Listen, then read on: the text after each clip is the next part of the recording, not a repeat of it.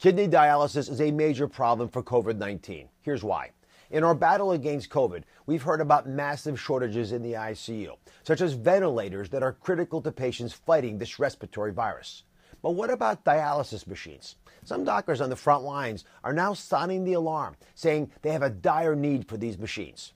Estimates are that 3 to 9% of COVID 19 patients will develop acute kidney injury.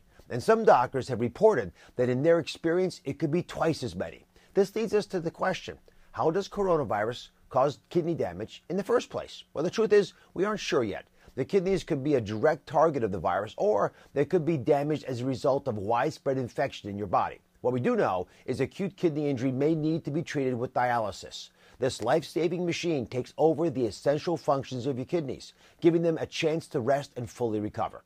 Right now, ICUs simply don't have enough of these dialysis machines, their supplies, or nurses trained to operate them for the number of COVID patients with kidney injuries. We need to get ahead of this problem and increase our production and distribution of dialysis equipment. All COVID patients should have access to this potentially life saving treatment. I'm Dr. Oz. This has been your COVID 19 News Minute.